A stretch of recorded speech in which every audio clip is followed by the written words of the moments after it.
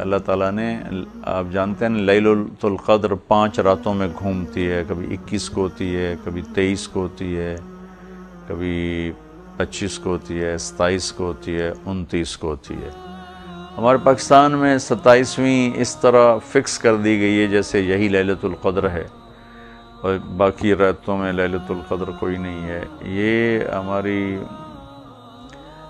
एक नादानी वाली बात है। अल्लाह ताला ने इसको पाँच रातों में घुमाया हुआ है। वो 21, 23, 25, 27, 29 इसमें वो घूमती रहती है घूमती रहती तो लैलतुल क़द्र की ना को अल्लाह ताला ने फिक्स करके बता दिया अपने नबी को।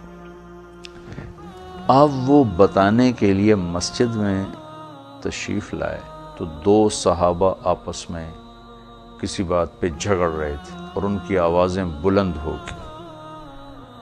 सुबहान अल्लाह तो आपने फरमाया कि मैं तुम्हें लैलतुल क़द्र बताने आया था लेकिन इन दोनों के झगड़े की वजह से अल्लाह ने मुझे भुला दिया है और उसकी फिक्सेशन को उठा दिया है। अब तुम इसे 21, 23, 25, 27, उनतीस में तलाश करो। इसमें भी अल्लाह की बहुत बड़ी रहमत थी। अगर फिक्स होती कि आज लैलतुल क़द्र है फिर उसमें कोई शराब पीता कोई मुँह काला करता कोई चोरी करता कोई गलत करता तो वो तो तबाह बर्बाद हो जाता। वहीं पता नहीं कितने बड़े अजाब उस पर आ जाते। अल्लाह ने छुपा दिया। अब जो कोई कर रहा है, बुराई कर रहा है तो उसको नहीं खबर कि ये लैलतुल क़द्र है या नहीं है। आपस का झगड़ा ऐसी लानत है किसने शब कदर की फिक्सेशन को उठा दी।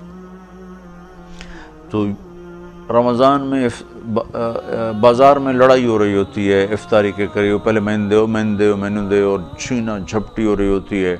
ट्रैफ़िक में लड़ रहे होते हैं, हर एक को जाने की जल्दी होती। घर में लड़ाई पड़ रही होती है, खामिन बीवी को डांट रहा है, बीवी बच्चों को डांट रही बच्चे आपस में लड़ रहे हैं।